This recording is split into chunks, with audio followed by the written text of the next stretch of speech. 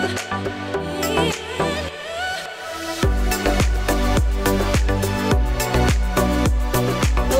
Welcome. I'm Christina Trajceska from the Ladies League. And for those who don't know us and are just joining us now, we are a female football supporter group from Australia covering football in Australia. And today we're reaching the other side of the world. And I'm here joined with Manchester City's defender, Ruben Dias. Ruben, how are you? And thank you so much for joining me. Oh, my, my pleasure. Uh, I'm good. Thank you. So you've been at Manchester City for a, about a season now. What what is it like playing at the club? It's such a prestigious club.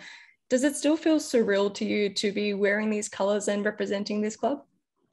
I would not say surreal, but I would say you just you just need to enjoy it because you're uh, you're in the top club uh, you're in the top level, not just the club, everything. I think I'm on, on the place I always wanted to be. You are part of the captains group this season. I know you are young, but you've said in the past that you don't compare the capacity of a player to their youth. How do you manage the level of responsibility that comes with being a captain at a club at Manchester City? I believe that essentially it's something that just needs to come from the inner you.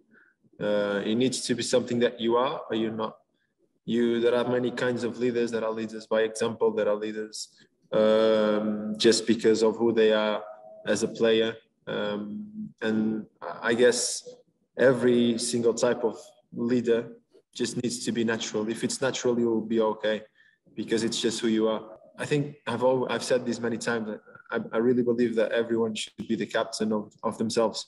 And i think that's a little bit how, how i work in my in my life in my professional life? As uh, Manchester City at the moment, we're, we are involved with a campaign called hashtag same goals, and we're celebrating women's football and how far it's come. How does it make you feel to see Manchester City's women's team grow with such experienced supporters as well as trophies? It's it's it's important and, and nice to watch uh, the development and and obviously to be to be in a club that is so motivated and in, in a certain way is dedicating dedicating so much to it uh, it's definitely it's definitely very good to watch. You were also part of the recent Women's Euro 2022 draw. It was it a special thing to be part of something and watching women's football become a space for young girls to aspire to be part of one day? Yeah, I, uh, I, I, think so. Obviously, it was a great pleasure to be to be there, and uh, I guess I guess essentially that's you, you've you've said it all. It's it's all about inspiring uh, young women to to just follow the dream and knowing that there is there is more and more investment into it and and it's it's growing. The question I'd like to ask you is, you know, who is Ruben Dias and what made you fall in love with football and choose it as a career choice? Not sure, not sure what to say to you. Uh, I guess it was just in me.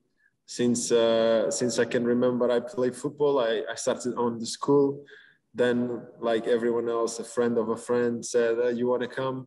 Uh, join the club. Yeah i went and it started from there. But essentially i think you, it's just a passion that you cannot put into words. It's just something that happens. Unfortunately today eventually we might have lots of players that think too much ahead and think too much about what the, the sport what the, the fo- what football can give to you if you're good enough and that's not the way you start. You start with the passion. You start with the, the, the small things. You've adapted so well to the premier league already. And as a defender you come up against such class strikers in the league.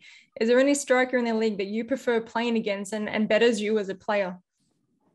I'm not going to give the advantage to anyone. Uh, no I, I, think that uh, I, I never say a name uh, not because eventually I, I, I could eventually say but i think every single one of them it's just very good at its own thing. Uh, some are fast, some are skillful, some are very good in the air, some are very good at protecting the ball. And, and I would say that with different qualities, I've played against the best. Are there any other hobbies that you have that help you balance your football lifestyle? Uh, I really believe in balance in life. I, am trying to to start to to learn to how to play piano. So I'd like to ask you, Ruben Dias, do you prefer pancakes or waffles? Pancakes or waffles? Pancakes. Which one? pancakes. He's got it. Pancakes. And on that note, oh, I can't believe it. He's got pancakes. But thank you so much for your time, Rudy. It's been wonderful to speak to you. It's been a good little laugh as well as great talk about football at Manchester and also about women's football. Thoroughly enjoyed it. Um, all the best for the season ahead, as well as your international duties with Portugal. Thank you once again. All right. Thank you very much.